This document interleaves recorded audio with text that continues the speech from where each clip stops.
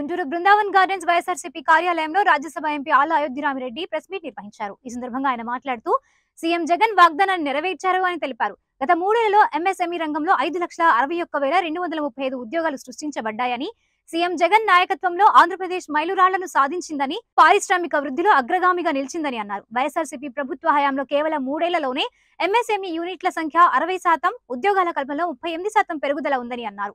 MSME పునఃప్రారంభం. YSR Jagananna బడుగు వికాసం మరియు డాక్టర్ వైఎస్ఆర్ నవోదయం చొరవ వంటి పథకాల ద్వారా ఎంఎస్ఎంఈలకు ప్రభుత్వం వివిధ రాయితీలు మరియు సహాయాన్ని అందిస్తోందని తెలిపారు.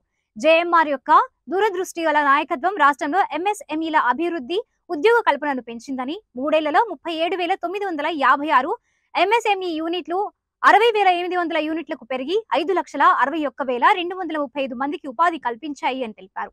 ఎంఎస్ఎంఈల వృద్ధిని ప్రోత్సహించడానికి ప్రభుత్వం ఎంఎస్ఎంఈ ఖాతాల యొక్క వన్ టైం రీస్ట్రక్చరింగ్ను అందిస్తోందని మరియు విస్తృతమైన డాక్టర్ వైఎస్ఆర్ నవోదయం చొరవ కింద ఎంఎస్ఎంఈ రుణాల కోసం సహాయం అందిస్తోందని రెండు వేల ఇరవై ఒకటి నాటికి ఒకటి పాయింట్ ఏడు ఎనిమిది లక్షల ఎంఎస్ఎంఈ రుణ ఫలితాలు లేదా ఇరవై రెండు శాతం పునః వ్యస్తీకరణ చేపడ్డాయని తెలిపారు.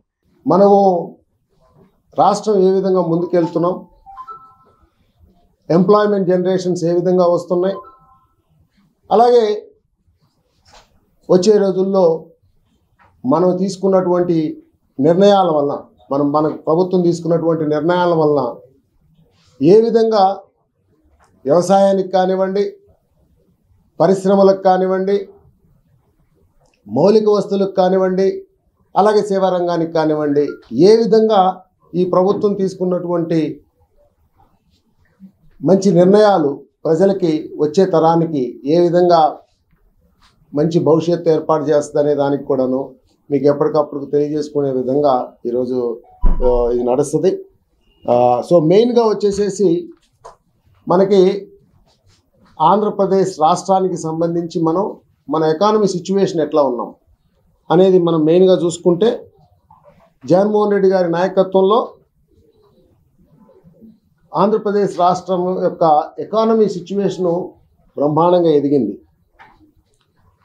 దేశంలోనే ఒక మంచి ఆర్థిక వ్యవస్థగా అలాగే ప్రతి పౌరుడికి కూడాను వాళ్ళ యొక్క పర్ క్యాపిటా ఇన్కమ్ ప్రతి ఒక్కరికి ఒక పర్ క్యాపిటా ఇన్కమ్ని పెంచుకునే విధంగా మన రాష్ట్ర ప్రభుత్వం కరోనా లాంటి కష్టకాలంలో కూడాను తీసుకున్నటువంటి మంచి నిర్ణయాల వలన ఈరోజు మన వ్యవస్థ చాలా చక్కగా నిలబడింది ఇందులో మెయిన్గా దేశంలోనే మన జిఎస్డిపి గ్రోత్లో ముఖ్యమంత్రి గారు ఆల్రెడీ చెప్పున్నారు. మన రాష్ట్రము నంబర్ వన్ పొజిషన్లో ఉంది. దాదాపుగా eleven point four three percent GSDP growth ఈ ఇయర్ లాస్ట్ ఇయర్ మనకి ట్వంటీ వన్ ట్వంటీ టూలో మనకి రికార్డ్ అయిందంటే ఇది ఖచ్చితంగా మనం తీసుకున్నటువంటి మన ప్రభుత్వం తీసుకున్నటువంటి ముఖ్యమంత్రి గారి డైరెక్షన్స్కి గైడెన్స్కి తగిన విధంగా రాష్ట్రంలో రెస్పాన్సెస్ ఉన్నాయని చెప్పి తెలియజేయడానికి సంతోషపడతా ఉన్నాం. అలాగే పర్ క్యాపిటల్ ఇన్కమ్ కూడా దాదాపు లక్ష యాభై నాలుగు వేల రూపాయల నుంచి ఇది పద్దెనిమిది పద్దెనిమిది పంతొమ్మిదిలో ఈరోజు రెండు లక్షల ఏడు వేల ఏడు వందల డెబ్బై ఒక్క రూపాయల వరకు ఇరవై ఒకటి ఇరవై రెండు ఇరవై రెండు సంవత్సరానికి సంబంధించి పర్ క్యాపిటా ఇన్కమ్ ప్రతి ఒక్కడికి సగటు ఆదాయం పెంచుకోగలిగాం మన రాష్ట్రంలో.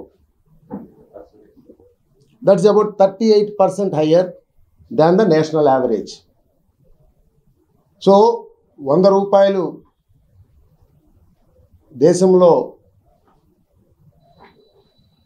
పర్ క్యాపిటల్ ఇన్కమ్ అయితే మనది దాదాపు నూట ముప్పై ఎనిమిది రూపాయల వరకు మన రాష్ట్రంలో నుంచి పర్ క్యాపిటల్ ఆదాయం పెరిగే విధంగా మనం మన ప్రభుత్వం కానివ్వండి అలాగే మన ప్రజలు కూడా కష్టపడి ప్రతి చోట వాల్యూ క్రియేషన్ చేసుకుంటా ఉన్నారు.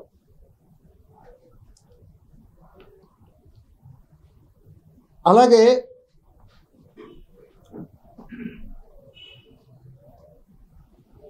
జగన్ గారు తీసుకున్నటువంటి కొన్ని ఇంపార్టెంట్ నిర్ణయాల వలన అంటే కొన్ని పేపర్లు ఏదైతే రాస్తూ ఉంటాయి. మనం ఇవన్నీ కూడా స్టాటిస్టిక్స్ ఇవన్నీ ఆర్బీఐ స్టాటిస్టిక్స్ ద్వారా మనం చెప్తున్నాయి అనమాట సో రెవెన్యూ డిఫిసిట్ మనకి ట్వంటీ ట్వంటీ వన్లో three point five percent of GSDP ఉంటే ట్వంటీ వన్ ట్వంటీ టూకి వచ్చేసి దాన్ని వన్ పాయింట్ సిక్స్ పర్సెంట్. అంటే మన రెవెన్యూ డిఫిసిట్ని మనము ఆ డిఫిసిట్ నంబర్ని తగ్గించుకోగలిగాం. అంటే కొన్ని గట్టి మెజర్స్ తీసుకోవటం వల్ల కానివ్వండి ప్రజలకి వెల్ఫేర్ ఇస్తూ స్టిల్ మనకు కొన్ని కంట్రోల్స్ ఇన్ ఎక్స్పెండిచర్ తీసుకోవటం వల్ల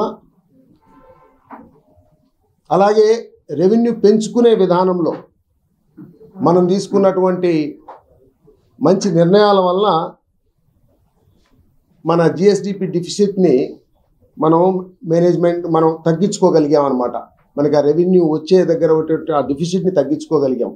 మనం ఇరవై ఇరవై ఒకటో సంవత్సరానికి చూసుకుంటే ఎనభై ఒక్క వేల ఎనిమిది వందల అరవై తొమ్మిది కోట్ల రూపాయల రెవెన్యూస్ నుంచి రాష్ట్ర రెవెన్యూని ఇరవై ఒకటి ఇరవై రెండుకి వచ్చేతలకే లక్ష ఐదు వేల కోట్లు చేసుకోగలిగాం.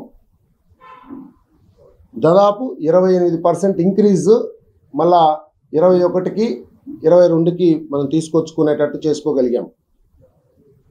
సో ఇవన్నీ ఫ్యాక్ట్స్ ఇవన్నీ కూడా ఆర్బీఐ చెప్తున్నటువంటి ఫ్యాక్ట్స్ సో ఆ దృక్పథం కూడా ఇంతకుముందు మనం చెప్పుకున్నాం. ఒక తల్లికి ఐదుగురు పిల్లలు ఉంటే ఇద్దరు పిల్లలు బాగున్నారు. ఓకే వెరీ నైస్ వాళ్ళు ఎట్లయినా బతుకుతారు. ఈ మిగతా ముగ్గురు పిల్లలు కొంచెం కష్టాల్లో ఉన్నా ఇబ్బందుల్లో ఉన్నా తల్లి మనసు ఎప్పుడు అట్టే ఉంటుంది. వాళ్ళని ఎట్లా మనం పైకి తీసుకురావాలనేసి సో అలా అని చెప్పి బాగా ఉన్న పిల్లల్ని వదులుకోవాలని ఏ తల్లి ఉండదు. ఆ- ఆ పిల్లలు ఉంటారు మంచిగానే వాళ్ళ వాళ్ళు చేసుకుంటూ ఉంటారు. మిగతా వాళ్ళకి ఎవరైతే ఇబ్బందుల్లో ఉన్నారో వాళ్ళని సపోర్ట్ చేయాల్సినటువంటి బాధ్యత ఆ తల్లికి ఎలా ఉంటుందో అలాగే మన ప్రభుత్వం కానీ మన ముఖ్యమంత్రి కానీ అలాంటి ఆలోచనతోటనే ప్రభుత్వాన్ని నడుపుతూ ఉన్నారు. సో అందులో భాగంగానే ఎంఎస్ఎంఈ ఎంటర్ప్రైజెస్ని ఏ విధంగా స్ట్రాంగ్ చేసుకోవాలి అనేది ఆయన మైండ్లో చాలా క్లారిటీగా ఉంది. ఎప్పుడు కూడాను అదే విధంగా దిశానిర్దేశం చేస్తారు. ఉమెన్కి ఈ మైక్రో ఎంటర్ప్రైజెస్ కింద ఉమెన్కి వైఎస్ఆర్ చేయూత కానీ వైఎస్ఆర్ ఆసరా కింద కానివ్వండి దాదాపు రెండు వేల ఐదు వందల అరవై ఎనిమిది కోట్ల రూపాయల సహాయం అందించబడింది. దాదాపు ముప్పై ఐదు పాయింట్ ఐదు లక్షల మంది బెనిఫిషియర్లు దీంట్లో హెల్ప్ తీసుకోవడం జరిగింది. వీటంతా కూడా వైఎస్ఆర్ ఆసరా కింద వైఎస్ఆర్ ఆసరా కింద అలాగే మూడు వేల మూడు వందల యాభై ఆరు కోట్ల రూపాయలని పదిహేడు పాయింట్ ఎనిమిది పదిహేడు లక్షల ఎనభై తొమ్మిది వేల మందికి అండర్ వైఎస్ఆర్ చేయూత కూడాను ఇవ్వటం జరిగింది. ఆ వైఎస్ఆర్ ఆసరా కింద అలాగే వైఎస్ఆర్ చేయూత కింద ఉమెన్ ఎంటర్ప్రినర్స్కి ఫుల్ సపోర్ట్ మన రాష్ట్రం నుంచి మన రాష్ట్ర ప్రభుత్వం మన ముఖ్యమంత్రి గారి డైరెక్షన్లో చాలా చక్కగా తీసుకురావడం జరిగింది. ఇవన్నీ కూడా మంచిగా సెల్ఫ్ హెల్ప్ గ్రూప్స్ ద్వారా ఈ ఉమెన్ ఎంటర్ప్రినర్షిప్కి చేరి దాని ద్వారా ఎకానమీలో మంచి బూస్ట్ రావడం జరిగింది. అలాగే కాన్ఫిడెన్స్ కూడాను మనకి ఉమెన్ ఎంటర్ప్రినర్స్కి ఇవ్వడానికి జరిగింది. సో చాలా సంతోషకరమైన విషయం. వాళ్ళ బుద్ధిని పెంచుకునేటట్టు చేసుకోవటం వాళ్ళకి ప్రపంచాన్ని చూపించటం. అవి కనుక చేయిస్తే ఖచ్చితంగా పిల్లలు బ్రహ్మాండం మన మన భారతదేశంలో చాలా తెలియగలవాళ్ళు. నేను ఇంతకుముందు కూడా చెప్పుకున్నాను. మన దేశానికి బంగారమైనటువంటి భవిష్యత్తు ఉంది. మనం ఈరోజే మన దేశం already fifth largest economy in the world వచ్చేసాం మనం. ఐదవ అతిపెద్ద ఆర్థిక వ్యవస్థగా భారతదేశము భారతదేశం వచ్చేసింది. అదే ఇంకొక పాతిక ముప్పై సంవత్సరాల్లో రెండు వేల యాభైకి రెండు వేల నలభై ఏడు మనకి వంద సంవత్సరాలు మన స్వాతంత్రం వచ్చేదానికి మనము సెకండ్ లార్జెస్ట్ ఎకానమీ అవబోతా ఉన్నాం. అంటే చైనా తర్వాత మనమే నిలబడతాం. అమెరికాని కూడా దాటిపోతాం మనం. అలాంటి వ్యవస్థలో మన పిల్లలందరికీ అందరికీ మంచి భవిష్యత్తు కావాలి అని అంటే వాళ్ళకి చక్కటి విద్య ఆరోగ్యం. వీటికి సంబంధించిన విధంగా మన రాష్ట్ర ప్రభుత్వం బ్రహ్మాండమైనటువంటి ప్రణాళికలు సిద్ధం చేసింది. అందులోనే మెయిన్ కార్యక్రమం వచ్చేసేసి విద్యకి ఇచ్చిన ఇస్తున్నటువంటి ప్రయారిటీ స్కూల్స్ని ఇంప్రూవ్ చేసుకోవటం కానివ్వండి అలాగే అమ్మఒడిని ఎఫెక్టివ్గా ఇంప్లిమెంట్ చేసుకోవటం కానివ్వండి పిల్లలకి ఎన్నో వసతి దీవెన అలాగే so many so many programmes మనం ఇవ్వటం జరిగింది. ఇవన్నీ కూడాను వాళ్ళకి ఏంటంటే ఓకే నువ్వు చదువు మీద కాన్సన్ట్రేట్ చేయి. మిగతాదంటే తల్లిదండ్రులు చూసుకుంటున్నట్టు ప్రభుత్వం చూసుకుంటా ఉంది. సో ఇది ఇప్పుడు బ్రహ్మాండమైనటువంటి భవిష్యత్తుని మన పిల్లలకి కలగజేస్తుంది. అనే దాంట్లో నాకు ఏ రకమైనటువంటి సందేహం